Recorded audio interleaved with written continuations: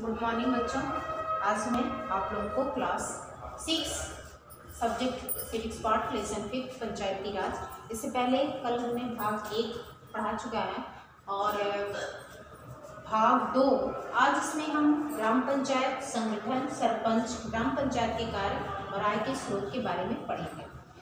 ग्राम पंचायत क्या होता है? जैसे कल हम बताए थे कि ग्राम पंचायत यानी कि जो पंचायत के रूप में या प्रधान के रूप में कार्य करते हैं, पाँच वरिष्ठ समूह के रूप में उनको ग्राम पंचायत के रूप में कहा जाता है, उनको यह ग्राम पंचायत कहा जाता है। अब इनका संगठन किस तरीके से होता है, यानी कि इनका निर्माण किस तरीके से होता है, या इनको बनाया कैसे जाता है, इसका गठन कैसे किया जाता है, इसके बारे में हम जानेंगे। तो ग्राम पंचायत के सदस्यों की संख्या सात से पच्चीस के बीच में होती है। और इसमें जिन्हें गाँव गाँव के जितने भी लोग होते हैं, वयस्क लोग होते हैं, यानी कि वयस्क का अर्थ होता है, जो 18 साल के हो गए होते हैं, वो लोग उनको वोट डालते हैं, उनका चुनाव करते हैं। एक तिहाई स्थान महिलाओं तथा अनुसूचित जाति, अनुसूचित जनजाति के सदस्यों के लिए भी यह आरक्षित होता है। और यदि इनका कोई प्रतिनिधित्व नहीं है तो सरकार दो महिला तथा अनुसूचित जाति, अनुसूचित जनजाति के सदस्यों को नामित कर सकती है। अगर इसमें से कोई भी व्यक्ति का प्रतिनिधित्व नहीं होता है तो इस तरह से सरकार दो लोगों को, दो महिलाओं को अनुसूचित जाति अनुसूचित जाति के लोगों को नामित कर सकती है, यह उसके अधिकार में है। इस प्रकार से इसका कार्यकाल कितने साल के लिए होता है? पाँच वर्ष के लिए होता है। इसका कार्यकाल पाँच वर्ष के लिए होता है। तो यह जो है, यानी कि यह पाँच वर्ष के लिए गठन किया जाता है। पाँच वर्ष के बाद फिर से इसका चुनाव होता है। इसी प्रक्रिया की तरह इसके इसके भी चुनाव कराए जाते हैं।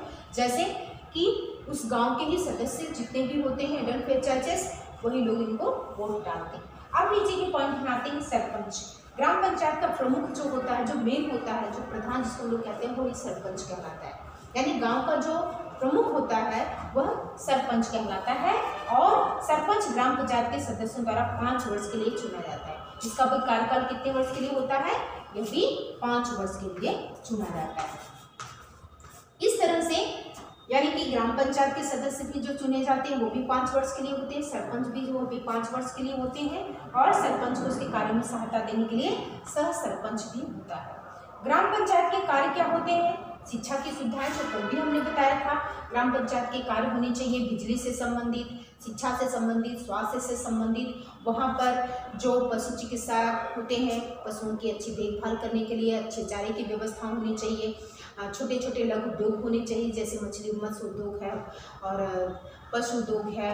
और इस तरह से ये बहुत सारे ऐसे काम हैं बिजली से संबंधित, रोडों से संबंधित, स्कूल, प्राथमिक स्कूल स्कूलों से संबंधित, शिक्षा व्यवस्था से संबंधित, जो बच्चों के राशन आते हैं, उसके उससे संबंधित बहुत सारे काम ग्राम पंचायत के होते हैं, ऐसे उनतीस बिंदुओं पर इनको निम्नलिखित रूप से कार्य करना होता है। और आय के इनके स्रोत क्या होते हैं? आय के इनके स्रोत होते हैं, गाँव में व्यापार होने वाले वस्तुओं पर जो कर लिए जाते हैं, वह इनका स्रोत होता है।